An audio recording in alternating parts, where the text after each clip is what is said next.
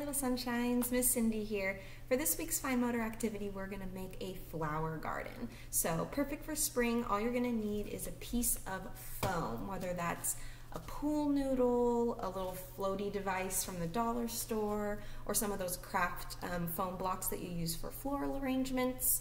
We're gonna need some golf tees or popsicle sticks or even some of these like garden pickets that you can also find at the Dollar Tree.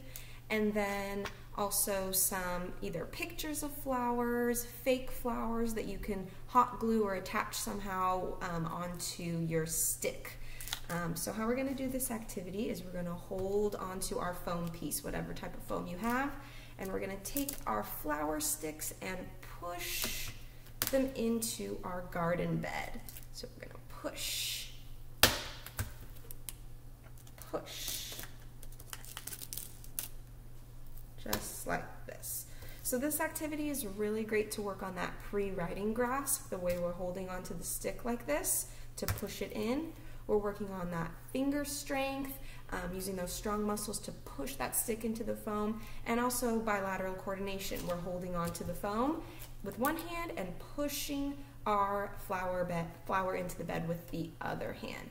If you're not wanting to hold it up like this, you can also set the foam on the table and have your kiddo hold on to the foam piece just like they would hold on to a piece of paper while coloring, but instead they're holding on to the foam piece on the table and sticking the flower into the foam just like this.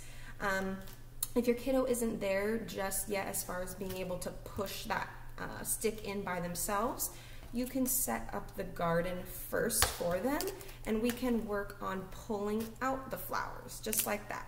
Still using that same uh, pre-writing grasp to pull those flowers out, but not having to use as much strength um, as pushing it into the foam. You can also push the flowers in beforehand to create holes so it makes it a little bit easier to push the flowers in instead of having to make that initial hole themselves. Um, another way you can use this activity is to work on counting your numbers so we can count how many flowers we're pushing in.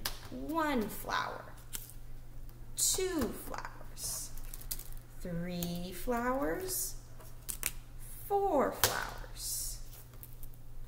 The other thing you can do is work on colors depending on um, what colors your flowers are, your pictures or your fake flowers. We can try and find the pink flower hey, how about we find the orange flower? So we can work on that color recognition there as well. Hope you guys like this activity. Have a good week. Bye-bye.